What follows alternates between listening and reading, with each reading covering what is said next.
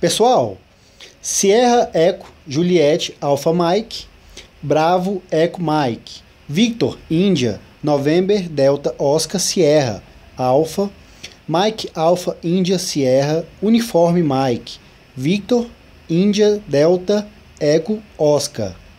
Não entenderam o que eu falei? Sejam bem-vindos a mais um vídeo. Então, pessoal, esse é o alfabeto fonético. É a linguagem utilizada aí na maioria dos voos, né, pelos pilotos, fazendo a comunicação com a ATC, torre de controle, e também utilizado aí na área da é, na área militar, né, por, por seguranças e também na navegação. Esse alfabeto ele foi criado em 1886.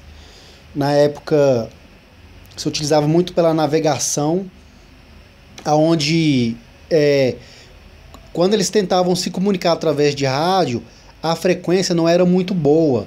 Então o que, que acontecia? Às vezes a pessoa ia falar uma palavra, é, a que estava recebendo não, não entendia direito. Um exemplo, falava-se mapa, a outra lá é lata? Não, mapa. Ah, então só letra aí. Mapa né? Mike, Alpha, Papa, Alpha. E aí a pessoa entendia que estava se tratando de mapa. Se fosse lata, Lima, Alfa, Tango, Alfa, né? Lata. Então, é, por isso a gente vê aí a maioria dos pilotos utilizando é, essa nomenclatura, esse modo de se comunicar para ficar mais fácil, né? Porque tem interferência no, na comunicação, nos rádios, e aí fica mais fácil. É, aonde você chegar, qualquer lugar do mundo, né? Que ele é internacional esse alfabeto. Você quiser se comunicar com uma autoridade, um policial, né? Um segurança que tiver ali no local, você conseguir conversar com ele através desse alfabeto ele vai te entender sem você souber falar nenhum nada da, da língua daquele país. É, aqui no nosso mapa a gente tem várias vários aeroportos é, com essas siglas, né? Vamos dar um exemplo aqui onde eu estou aqui, KSMO, que pode pode ser traduzido Kilo Sierra Mike Oscar ou então, vamos aqui outro, é KNUC, Kilo November, Uniforme Charlie, que é a, a sigla, né, KNUC. O que eu tô vendo aí bastante, pessoal aí fazendo durante as conversas, né, é, pegando essas siglas e juntando, formando frases. KNUC, estou chamando de Canuck. KL AX, estão chamando de Calax. Então, pessoal, isso aí está errado, tá? Não é dessa forma que se pronuncia aqui o nome dos aeroportos.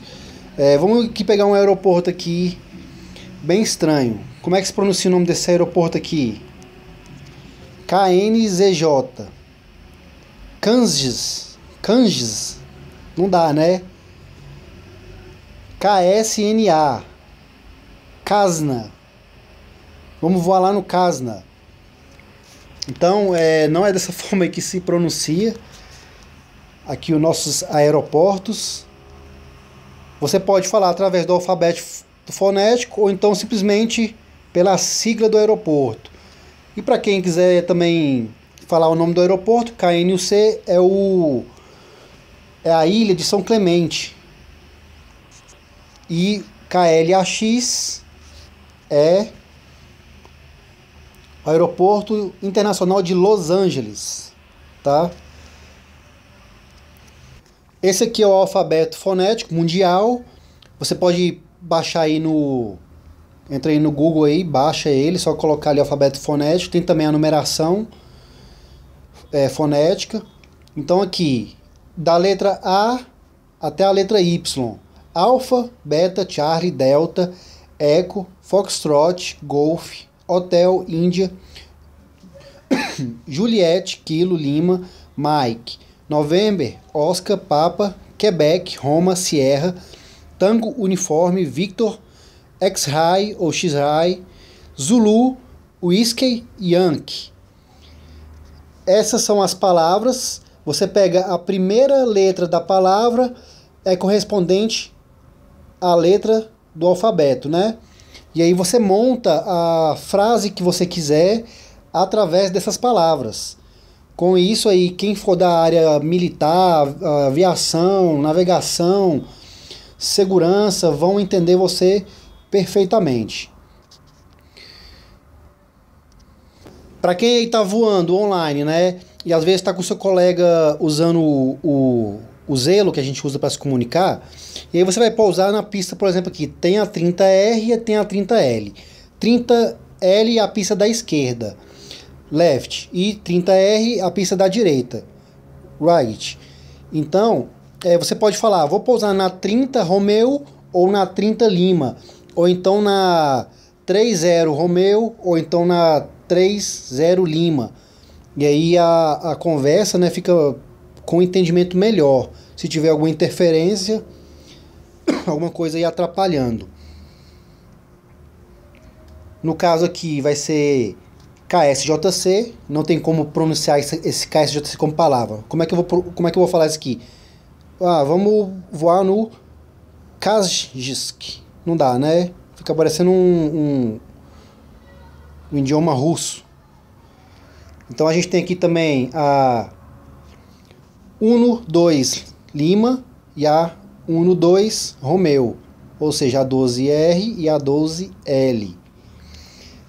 Eu tinha visto num, num vídeo aí uma vez no, em um canal, vou colocar aqui no mapa do Caribe. Então, eu já vi também é, no Live ATC é, pilotos conversando com, com a torre através do português normal, né, do, do nosso idioma normal, é, que iria fazer o pouso na 12 da direita ou na 12 da esquerda, sem usar o alfabeto fonético. Isso aí é normal, tá? Não necessariamente você precisa usar ele. Mas se for um piloto estrangeiro vindo pousar aqui no Brasil e não, não sabe bem o, o português, ele vai conversar pelo alfabeto fonético. E aí vai ter um, entendimento melhor entre a torre e o piloto. Aqui no, no Caribe a gente tem esse aeroporto aqui, ó, né? TNCM. Tango, November, Charlie, Mike. Quem não ouviu também já falar da PM, né? Polícia Militar. São os Papa Mike, né? Que aí é a abreviação de PM. Polícia Militar. Então a gente tem aqui TNCM e a gente tem aqui nesse, nesse mapa, esse aeroporto aqui, ó. TAPA. Eu já vi gente falando aí, ah, vamos voar no tapa. Pô, vamos voar no tapa. Já pensou, pessoal, pessoal, ó, hoje vai todo mundo voar no tapa. Pô, vocês vão achar que eu tô querendo bater em vocês, né? Não dá. Voar no tapa. É, aí complicou, meu. Vamos voar no TAPA ou então no Tango Alfa Papa Alfa. Pousar na pista 07. É, quando tem uma numeração, por exemplo, 177 ou 155, você pode falar Uno 5 dobrado. Não precisa falar é, Uno 5, 5. Você pode falar Uno 5 dobrado, ou seja, vai ser 5, 5, 5 duas vezes. Pessoal, é isso aí que é mais para a gente poder estar tá sabendo né, sobre o alfabeto fonético, muito usado na aviação.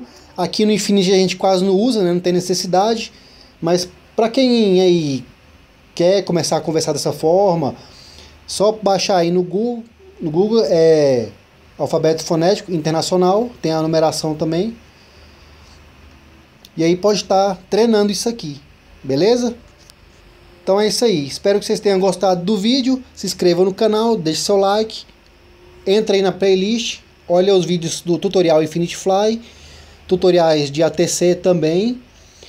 Então é isso. Valeu e até o próximo vídeo.